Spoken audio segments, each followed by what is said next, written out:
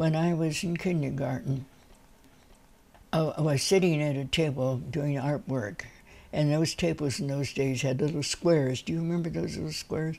And um, all of a sudden, in one of these squares, plopped this great big wad of blood. And I looked up, and here this boy was having a nosebleed. I saw this blood. I just threw up my hands and ran home. And if I was sick and I had to be given some pills, it took uh, an act of Congress to get a pill down me.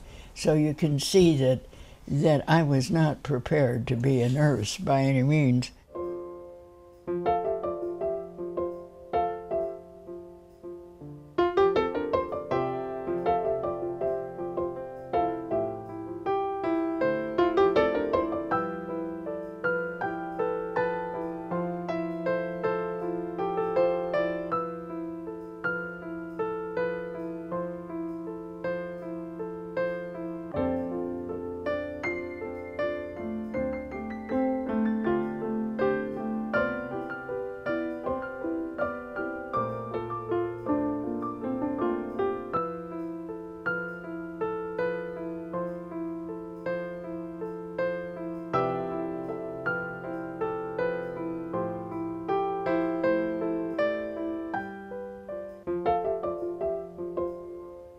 We had to take the train and we had to take the the ferry and then the streetcar out to the hospital, and um, so she was taken in to to uh, fill out the form. In the meantime, a lady came up to me and asked me if I was waiting for to be interviewed, and I said, "Oh no, no, not at all." And she said, "Wouldn't you Wouldn't you like to be a, a nurse?" And I said, "No, I, not at all." And I said, I, I just have a phobia about uh, about blood. I just uh, couldn't possibly be a nurse. And she said, "Oh, you won't see any blood." As a nurse. I said, "How come?" She said, "We have, we always clean it up before you you you would see it." And um, but she said, "You like babies and, and small children?" Oh yeah, I love babies. I love working with them, and. Uh, oh yeah, I, I like that. And she said, well, that's what we are. This is a woman's and children's hospital, and you'll have lots of fun with babies. So that sounded a little better to me, you know. And so I said, well, that didn't sound bad. She said, why don't you just come in and fill out a form and you can think about it. So I didn't know I was filling out an application. So I filled the whole thing out and uh, went home and forgot about it. In a couple of weeks, I got a letter from them saying that they had accepted my application. And I said, my Lord, what do I do now? And uh, because uh, we had cut school, you know, and uh, and I hadn't told my mother about this, and um, and first of all, they would have, you know, a fit to think I was going to go in training, and so um, I just really was upset, but I didn't say anything. I said, Carol, what do I do? And she said, well, just wait, we'll see. Well, pretty soon I got a, a letter from them saying they wanted me to come to have a physical examination and another interview with my parents, my mother or my father. Well, then I was really in, in it, and I had to tell my mother. And I told her, and my dad, and my father thought it was funny. Father thought it was the funniest thing he ever heard of. He said she'd be the worst nurse they'd ever had. And my mother said, Well, I think I will go over. I want to see what this is all about. And so she went over, and, uh, and the uh, interviewer uh, really did a number on my mother. My mother thought she was just wonderful. And I'd be under her care, she thought, you know. And um, so she, she came home to my dad, she said, That'll be good for her. You, you know, I think it's going to be good for, for Virginia to, to uh, get some uh, discipline. And, um, and so my father laughed. He said, Well, how long do you think that's going to last, you know?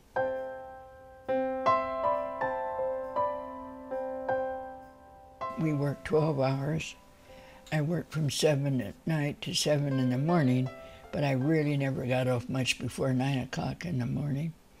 And uh, I got, uh, for nights, we got, we, we were paid $85 a month that didn't include anything. It didn't include laundry. We had to wear, you know, white uniforms. It didn't. Um, include dinner or, or anything. There was no, no vacation time, no sick time, nothing. And, um, but it was during the Depression, and um, it was lucky. I mean, I, I was happy to have the job. And he said, I'll pay you $135 a month. I thought I was rich as I couldn't believe it. $135. I couldn't count that high, I thought. I said, I'll take it right away. Well, I really worked hard for that $135. He was a very busy man. And um, we uh, uh, had evening hours, and in those days, the doctor made house calls, and he would start at 7. I had to be there at 8 o'clock to write down all the calls that he was, where he would be in case another call, another home call. And I'd call and say, Doctor, you've got to go to such and such a place. And then he'd come in in the afternoon and we'd work until six. And then sometimes, two nights a week, uh, he came back and we worked until 10 at night.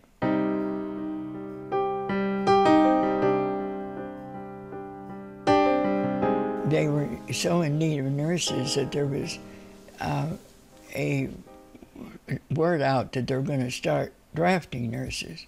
And I thought, well, I better get in and go where I want to go rather than to be drafted. So I um, joined the Navy. I had uh, went to Mare Island, uh, which is in Vallejo, Northern California, and Mare Island was a prosthesis center for for the West Coast. They put me in OB because I was the only nurse that was trained for OB, and the first time the Navy, I think, ever put somebody in that they were trained in because the OB, the chief of OB was an orthopedic surgeon, and the chief of, of uh, the nursery was a dermatologist. And honest to goodness, the, the interns, you know, uh, they had cut down their time so that they had never even seen a baby born, some of them. And I tell you, I hit all the forceps, I hit everything because I was scared to death that they would try to use them.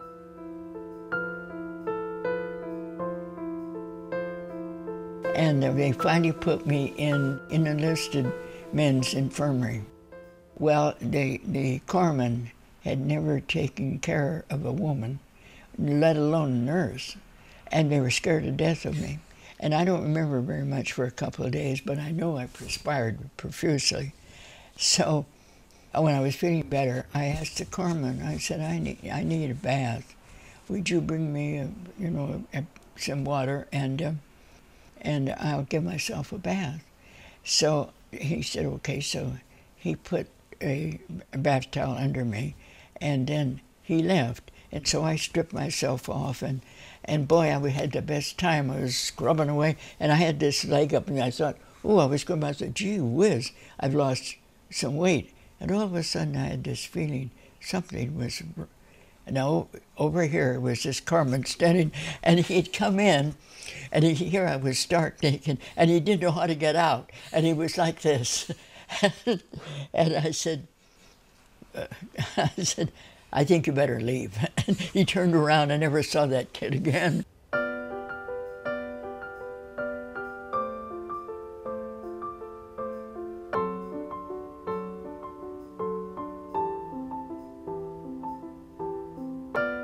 There were about eight of us, and um, we got out in a couple of hours, maybe more, and all of a sudden, um, one of them said, "You know, I've got a feeling that we're going in the wrong direction," and I said, "Yeah, it seemed strange." And pretty soon they came aboard and said, "We we have to go back to Pearl. We're having an engine problem." Well, we thought for sure they'd run into some Japanese, you know, and so we were scared to death until we got back. And um, it took another four hours to get back with a with a, a engine that was puttering and sputtering. So we were, I was there again overnight. Another, I think it was two days before they got the plane ready, and then we flew right out, and we flew right to Guam. And uh, when I got to Guam, uh, uh some uh, officers met us in a jeep, and uh, we, our uniform overseas was gray. Our, I had a gray seersucker dress that we all wore, and um, the men wore a gray shirt and gray pants. Well, they came to pick us up, and I looked at the men, and they were all wet. And I thought, my God, they wet their pants. How can this be? And it wasn't long before I realized that we were all perspiring, and they had been in the Jeep, sitting in the Jeep, and they just perspired. And of course, that gray, you know how it. Well, I tell you, it was. we learned very quickly that uh, you really felt the humidity. I don't know if you want to hear this story, but I had a, a patient come on my ward that was flown in from a, an island that didn't have any hospital or didn't have any clinics. Just the corpsman had to take care of a little sick bay. And this man had been shot, and um, and he and he had pneumonia. They decided he was going to die, so they put him on a on a ship, and he, they shipped him in to me. Well, I just don't want to tell you the state that that man was in. It was just awful. It was absolutely awful. And um, I was so mad because I knew nobody had taken care of him at all. And I called them, all my corpsmen in, and I said, I want you, want you to see what happens when you, neg- when you neglect a patient. And I made them stay with me while I cleaned him up. My grandfather, great grandfather, was on the Underground Railroad. You know what that is? Mm-hmm. And so my father grew up with, with that. And they had my great, my grandfather, his father, had a, had a farm, but he also had a, um, he raised horses, and he had uh, a, he had a, a, several colored men who who ran the ran the race. He had also a racetrack that he taught the where the horses were taught, and so Dad would go over and and uh, enjoy being with with these men that were training the horses.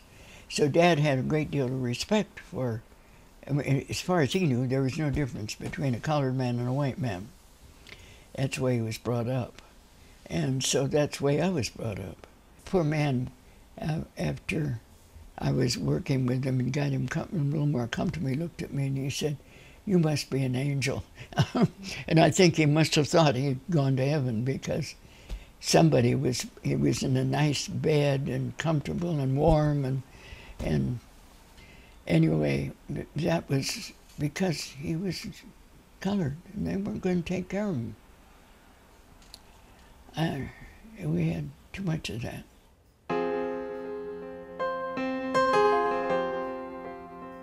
When uh, the war was over with Japan, then uh, we got the POWs. And to me, that was the worst part of the war. Absolutely the worst part for me because these men came back and they were just bucket cases, basket cases, uh, in terrible condition. And one of them gave me a little little dish about this size. Judy has it. She wanted to keep it. That that was filled with rice three times a day. That's what they got, and they they were. It was just awful. I was engaged to a boy who was he was going to he was going to fight those Japanese by his own hands. He was a lawyer, but he went in as an enlisted man. And he wanted to be with the enlisted men. He did not want to go in and be an officer. Well, they caught up with him, and the next thing they made him go to officers training school, and uh, and uh, he was down at Camp Pendleton, and um, we were going to get married, but we there was no place to live. I mean, everything was taken, and um, we thought there was no point in uh, getting married when you don't have Tom was killed on Iwo Jima, and um, and uh, he he had uh, uh, gotten through three days, but you know they didn't know. They thought they had the island secured. They didn't know that it was mined, and um, that that there were caves uh, all through that uh, island, and of course there were. They had a big, big uh, fight after that, but uh, a sniper got him, and um, I knew about it because his one of his men was with him, and he brought him to the hospital ship, and then he got in touch with his mother, who got in touch with me. Oh, it was around Christmas time when I got my orders to come home, and I came home on a ship that I always say it must have been an LST. I don't know what it was, but it, it just rolled like this. We really had a very bad storm. We had a, um, a lifeboat outside of our, our porthole, and it would bang, bang, bang, bang, bang, and you know, all, all this time. And finally, the thing just fell off. And so the, we were we were happy about that. But I eventually went out and just slept out on the deck. And then uh, the captain called me. I was the only nurse aboard, and uh, asked me if I would go down in the hold. They had I don't know how many soldiers, uh, um, not soldiers, Marines and uh, and Navy people. Um, they were at the in the hold taking them home. Well, they all got seasick, and um, I, I, you know you can imagine, and um, but there was nothing to treat them. He wanted me to go down and treat them. We didn't have any 7 Up or anything like that to give them. We had nothing. And the water was uh, tasted salty. That made them even worse. And uh, oh gosh, I didn't know what to do. I, there wasn't much I could do but hold their hands. But when it got to be, when we finally got calmed down, so that I got them all moved out on the deck, and then they all felt better, so did I.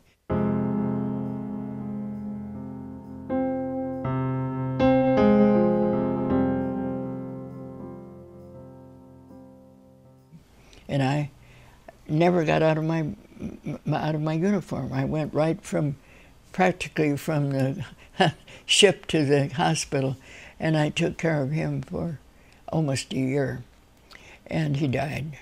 And um, but for a year he was he uh, he was able. He got a prosthesis, and he he he wasn't going to die as far as he was concerned.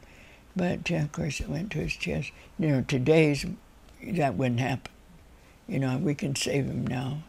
They shouldn't have amputated, for one thing, and um, uh, because the doctor knew he was, that that wasn't a cure. And um, he tricked, we didn't, they, my folks didn't want him to know that he was going to have an amputation. Uh, and, um, but he tricked uh, one of the interns into telling him, um, and by say, talking about, uh, talking to the intern about treatments and what they do and and, the, and this guy goes on and says, well, we, we'd amputate and so on. Right away he knew that he was going to be amputated. So when I went in the early morning to get him ready for surgery, he said, um, yeah, they're going to take off my leg, aren't they? And I, I was just, I was just sick. I didn't want him to go into surgery, you know, with that. But I, I, I wanted I wanted his folks to be able to sit down and talk to him and tell him what what had happened and why they had to do this and what they were going to do afterwards and and um, you know sort of give him tender loving care. And and that didn't happen you know. But they certainly gave him a lot of it when it was out but they just, they didn't really know uh, how to handle it either. So but it broke my heart. He was a, just a great kid. So my uncle bought him a car, and he just had one year of having a good time. And then uh, when he became ill, where I had to take care of him in the hospital. Uh, I had him. He went into a into a coma. About two in the morning, he woke up, and he said, "Hi." He said, "I'm hungry," and I said, "You're hungry?" He said, "Yeah." What can I What can I have? And I said, "What would you like?" A peanut butter sandwich, jelly sandwich. You know, and I said, "Really, you think you want that?" He said, "I sure do." So I went out and got him a peanut butter sandwich and jelly, and he ate it with relish. And then he said, You know, I want to get married. and I said, He had a girlfriend. And uh, he said, I said, Get married? Yeah, he said, You. She, she, she wants to marry me. You call a priest and tell him to come.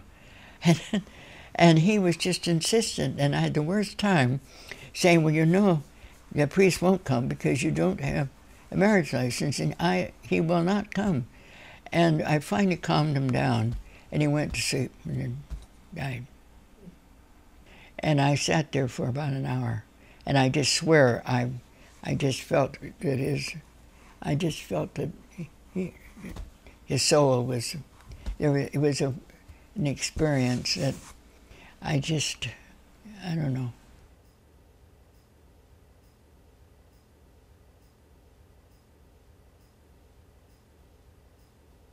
And part of the home nursing was to teach mothers how to bathe their babies and how to make formulas. In those days, we had to make formulas. And um, we had classes to have them come prenatal and so on. And uh, so I did that. And um, now Marin City was where the um, uh, many, many, I would say refugees from, from the United States uh, came to work in the shipyards uh, during the war, and they stayed there in this Marin City, and it was it, the homes were just really put together with paste and and, and um, they were when I we would go to Marin City to take care of former uh, uh, soldiers' wives because uh, they were put base there. And uh, I swear, the walls were so thin you could poke a hole in the wall and the next family over. You could hear everything in the next. I don't know how the people managed, but they did. They had shelter. That was the main thing.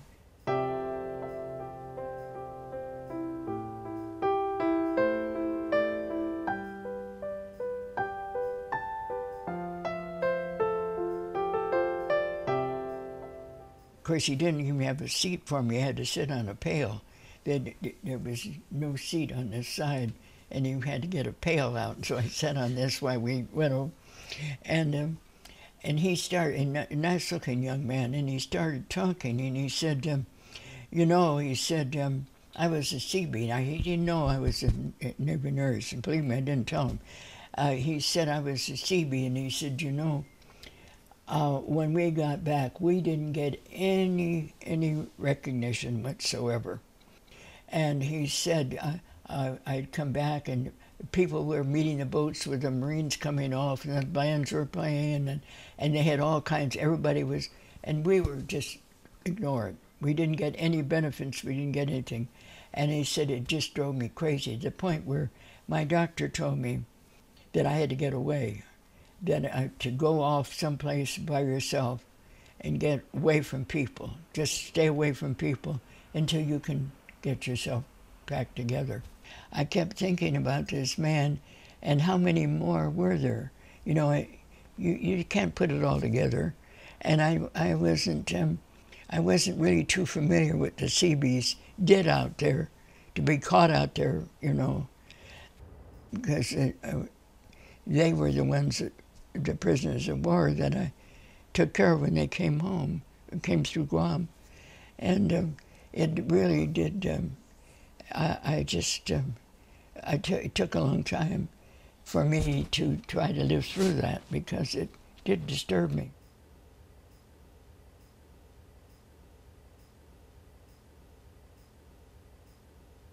On the back ward was a man who had been in the 1906 earthquake.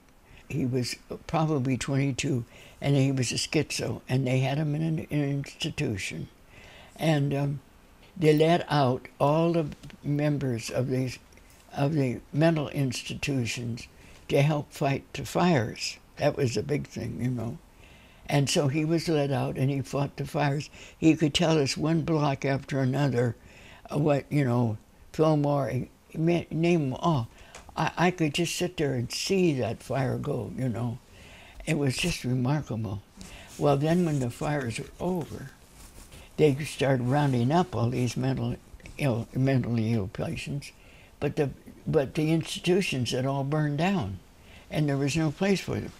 So different states took a, a group of these patients, and he got Sedro-Woolley, and he'd been there ever since.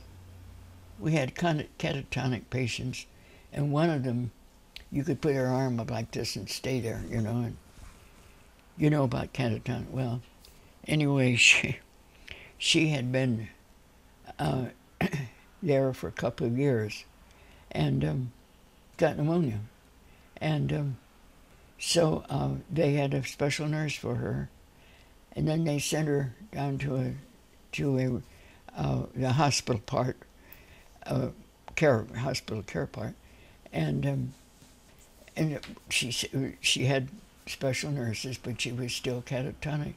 But one day she said something to the nurse, "Thank you," and the nurse said, "What did no?" Because she never hadn't spoken for a couple of years what did you say? She said, I said, thank you.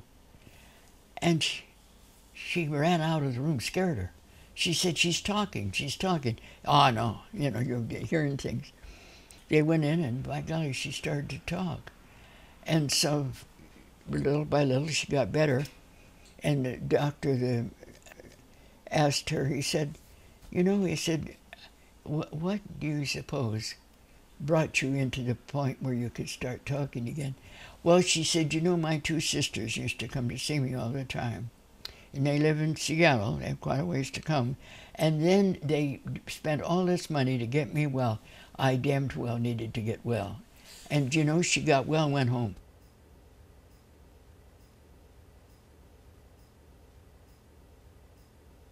My assignment was over in uh, Pleasanton, Livermore, in that area. And and uh, we were living outside of Oakland, and I had to I had to take the uh, freeway. At those days, it was not much of a freeway, and um, it was a dangerous uh, ride. And um, but I had um, I had five, uh, six one-room schoolhouses where I would go and visit once every so often to do hearing and vision tests and, and a small um, uh, sort of check them over a little bit. And uh, but and then I I um, part of my uh, assignment was to follow up TB patients through the Alameda County Hospital, and um, that took me to the vineyards, where I would be checking the, the men who worked in the fields, and um, a good percentage of them would come up positive. And so we would send them in free to the Alameda County Hospital where they were given medication. And I'd follow them up to be sure that they went.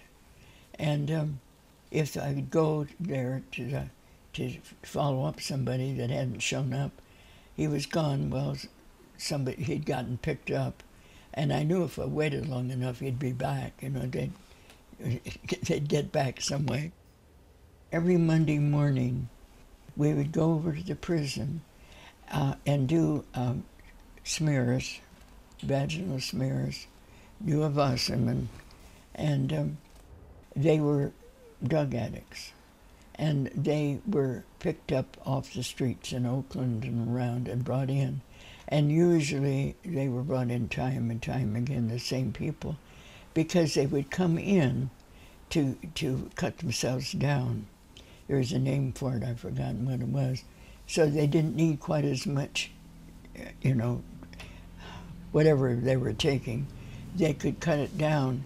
And then when they'd build it up where they couldn't afford it anymore, they'd go and get themselves down. But I tell you, uh, it was very difficult because they you could hear them screaming all over the place. It was just awful to go in there screaming because they were they wanted the you know the drugs and of course now they were in prison and couldn't get it. That was all public health, and um, and so then um, I had that's uh, I'd been there. I worked there a couple of years when I met my husband, and then I got married, and uh, we eventually moved down to Cal- to uh, uh, Glendale.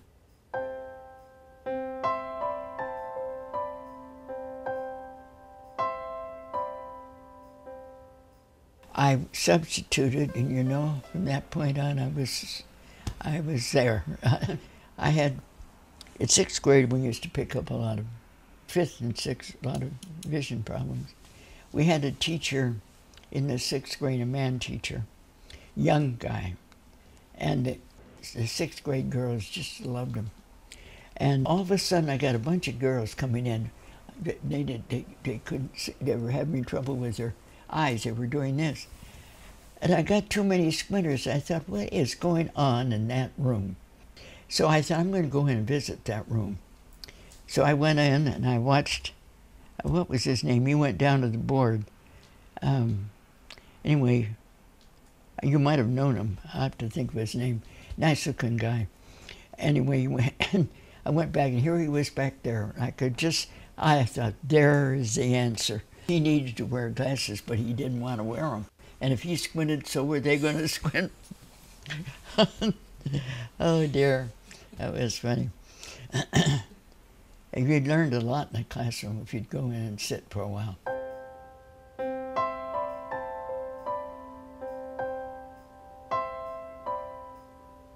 The nurse who was at the school checking for head lice, she found this little girl had had head lice. And, um, and she called me. She said, I can't call his mother. She said, his mother will not accept it. And she said, uh, I have, I just, uh, I have any relationship with her at all. So I said, well, I'll call her. So I called her, and I explained to her that her child had head lice. No, she didn't have that. And I said, I beg your pardon? She said, no, she didn't have head lice.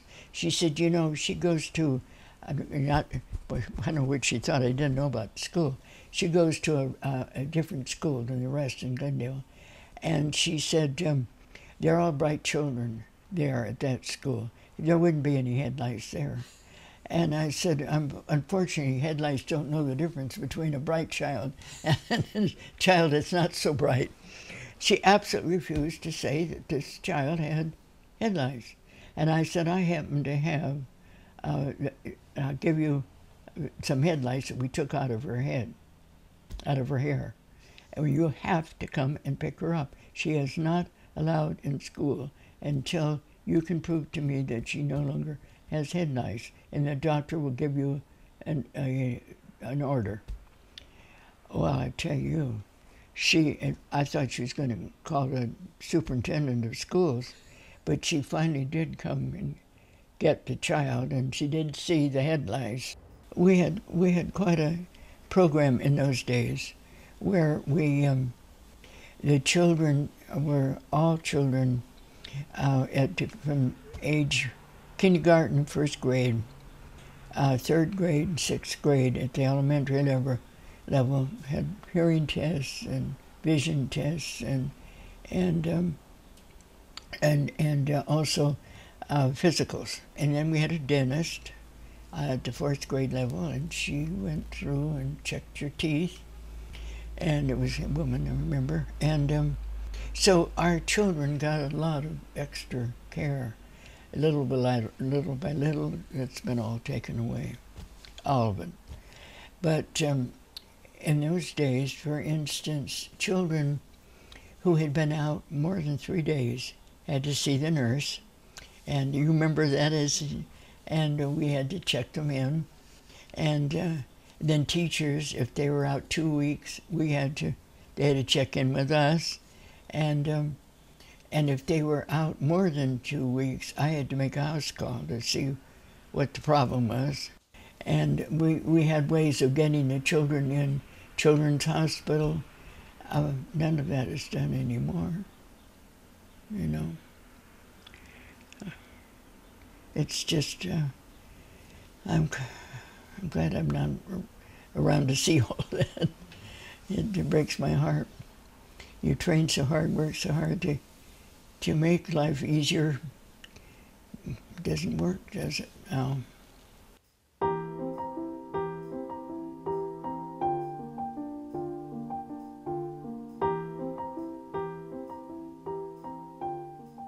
we set up a um, blood pressure clinic, and we we started out with about three patients, and we ended up with lining up around the. We, we had to take it out of the Red Cross and set up a clinic down at the uh, um, the health department, and uh, we. Um, and then I volunteered at the health department itself uh, to uh, help with giving shots to the children and, and assessments and so on. But we picked up a lot of patients who needed needed uh, to see the doctors, and then patients who have been seeing the doctors, uh, but not you know as soon as they should or recently. They'd stay on the same medication, and but and maybe after a year they needed to be elevated or lowered, and um, and so we was we would you know tell them to go back and see their doctor. And we had doctors thank us for sending, sending patients to them. I don't know if they still do that now or not. I never had any children. I lost two babies, one at five months and one at four. So that was the end of that. So, anyway, but I, I had lots of little baby friends, so I didn't. Uh,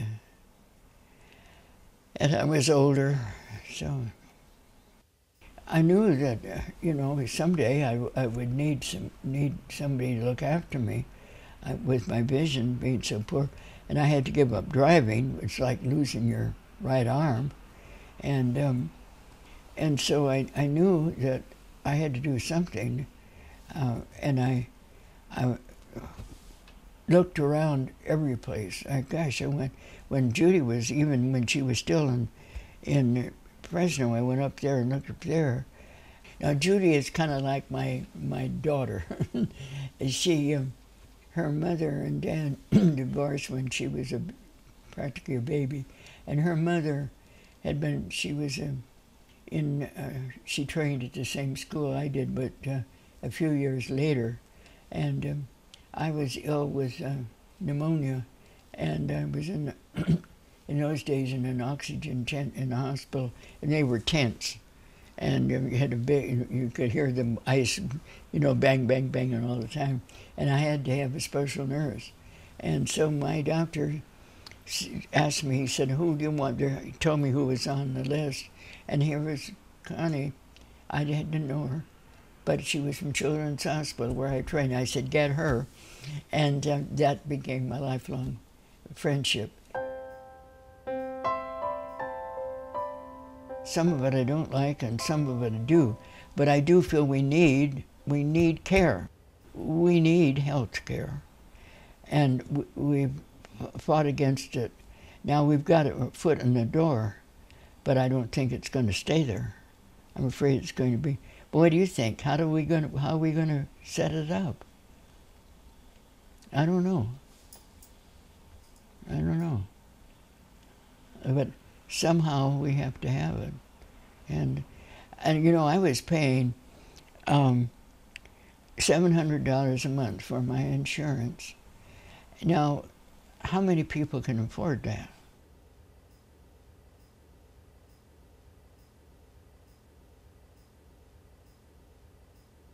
I'm paying a third less. Imagine. And getting the same care. So there, there's something wrong. And um, uh, there's making millions of dollars in the insurance companies. and you know when when Blue Cross sold to to um, what is it Anthem, millions of dollars those men were given and millions to sell out. Uh, that was um, some of my money.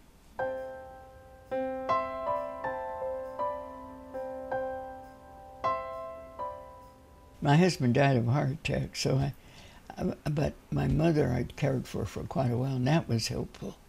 But from my own standpoint, I don't know. I, I guess it helped being a nurse, but sometimes it isn't so helpful because you know too much. you know, you think, oh gosh, maybe it's something worse than, than it turns out to be. Um, and, and you also tend to diagnose other people occasionally. and say, I don't, you better go back and see your doctor. I don't think that's right. and I sometimes have been right. I don't know how many times, but but I tried to get your mom. I was really worried about her, and uh, I never did get her to. Well, I guess you guys were the one who finally stepped in. But I was so concerned when she was losing weight, you know. Anyway, that's my life, and I love it here. And I plan to be here for a little while longer. Two parties. Yeah, two parties.